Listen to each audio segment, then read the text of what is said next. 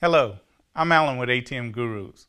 Today we're going to talk about changing your combination on your electronic lock with a swing bolt. Open your fascia door, put in the factory default combination of 1, 2, 3, 4, 5, 6.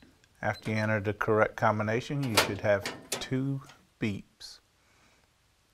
Release your locking mechanism and enter in six zeros.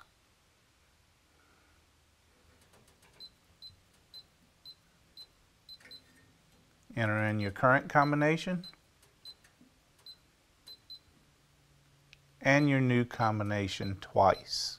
You should get a double beep after each entry.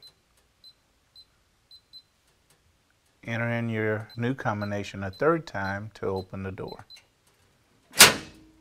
Try this combination several times before closing the door. To replace the battery in the lock, lift the lock up. The battery is a 9 volt battery located in the rear of the lock. Thanks for watching. And remember, if you have any problems, you can always contact us at Triton Tech Support.